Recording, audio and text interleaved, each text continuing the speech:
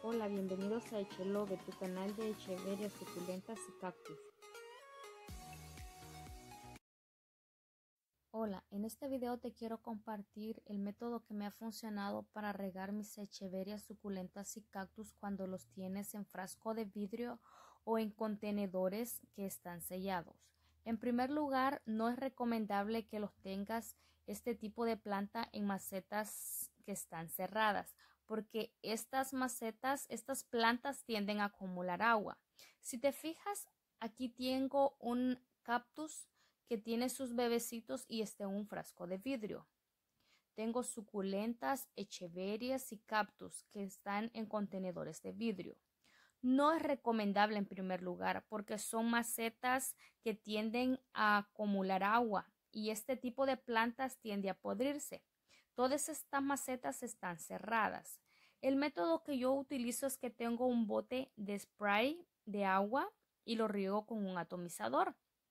Si te fijas, estas son unas copas muy pequeñas, aproximadamente de 6 centímetros, 7 centímetros, muy reducidas y yo ahí tengo mis suculentas. Estas las puedo tener dentro de mi casa y es la forma en cómo yo las riego.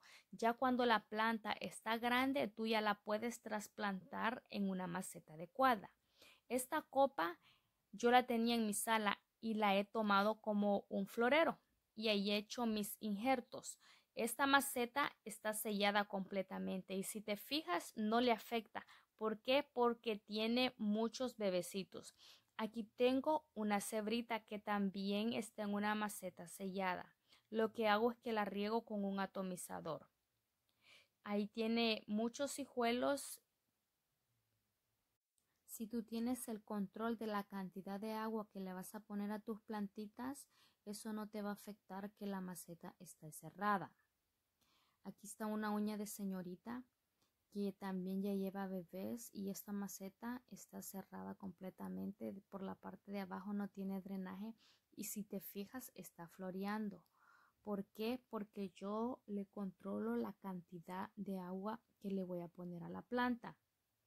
Esta maceta está en un contenedor de aluminio y eso no le ha afectado para que tenga dos bebecitos y se, reproduzca esta maceta es una maceta de aluminio que está cerrada completamente. No es lo mismo regar una planta con 10 hojitas a una planta que tenga 20 hojitas. Con un frasco de agua y un atomizador tú puedes tener el control de agua que le pones. Este es el frasco, el atomizador que yo utilizo, el bote con agua para regar mis plantas. Así yo sé la cantidad exacta de agua que ellas necesitan o que yo les puedo poner. También te sirve para que las hojitas de tu planta no se te ensucien. Espero que te haya servido mis consejos o lo que a mí me funciona para regar mis plantas que son selladas por la parte de abajo. Te espero la próxima semana con otro video más.